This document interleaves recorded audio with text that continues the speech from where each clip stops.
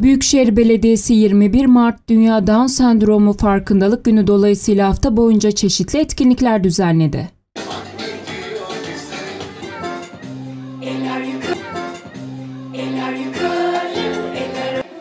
Büyükşehir Belediyesi bu kapsamda son olarak Gebze ilçesine bulunan Nene Hatun Özel Eğitim Anaokulu'nda bir etkinlik gerçekleştirdi. Burada bulunan minikler ve ebeveynleri için anne şehir personeli eğlence alanları oluşturuldu.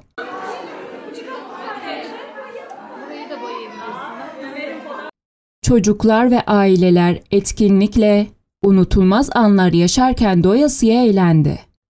Atletizm parkuruna geçerek kıyasıya yarışan minikler eğlenceli anlar yaşadı.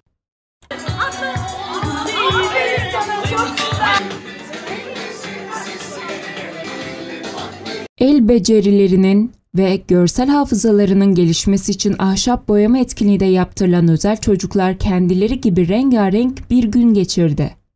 Ailelerin de katıldığı organizasyon çok beğenildi.